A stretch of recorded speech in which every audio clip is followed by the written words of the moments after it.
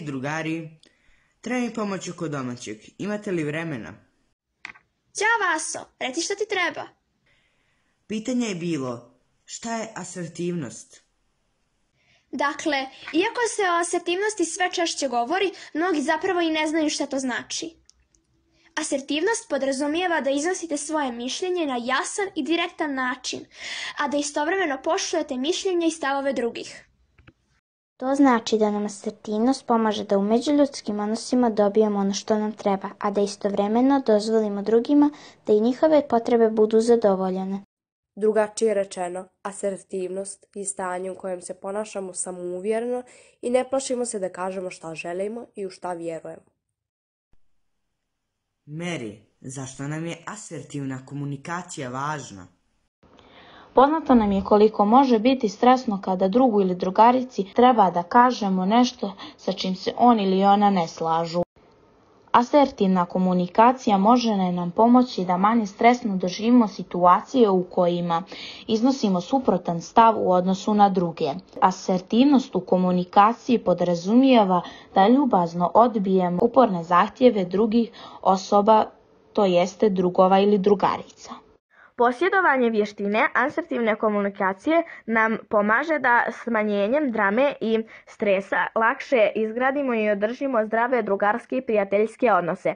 Asertivna komunikacija nam također omogućava da postavimo neophodne granice i zadovoljimo svoje potrebe bez opasnosti da se otuđimo od drugih i sami postanemo ljudi. Iako pojedini pogrešno vjeruju da je asertivna komunikacija jednaka sukobu i konfrontaciji, istina je da asertivnost zapravo omogućava ljudima da budu bliži.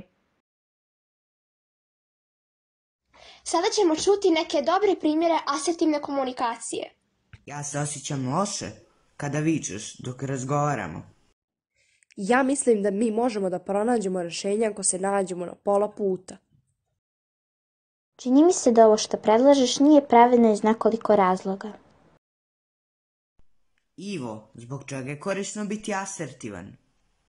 Asertivna osoba vremenom stiče i razvija svoje asertivne sposobnosti. Te sposobnosti jednoj asertivnoj osobi pomažu da lakše prepozna drugu asertivnu osobu, ali i da bolje razumije značenje pojma asertivan.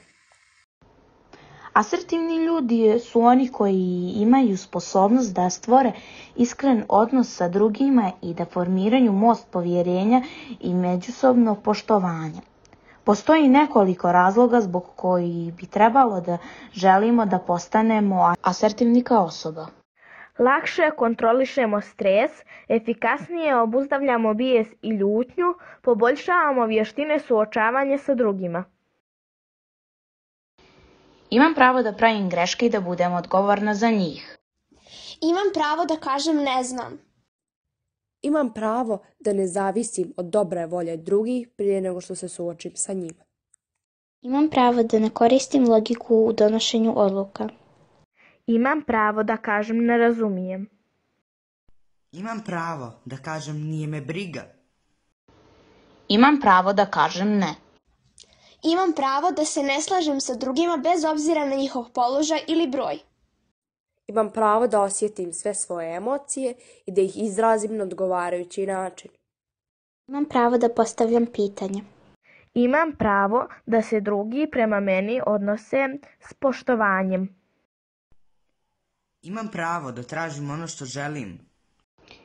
Imam pravo da se osjećam dobro u vezi sa sobom, svojim postupcima i svojim životom. Imam pravo da ostvarim bilo koje od ovih prava bez osjećaja krivice. Imam pravo da procijenim sobstveno ponašanje i da preuzmem odgovornost nad njim. Imam pravo da ne kažem nijedan razlog ili izgovor za opravdanje svog ponašanja. Imam pravo da procijenim da li sam odgovoran za pronalaženje rješenja za probleme drugih ljudi. Imam pravo da se predomislim.